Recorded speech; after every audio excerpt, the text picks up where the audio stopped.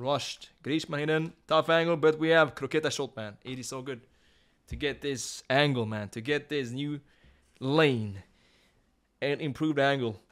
Croqueta shot. Nice job. Nazario, great. And then, come on, the goal as well. The goal as well. Verland. Croqueta shot from tough angles. From the wing. It's amazing.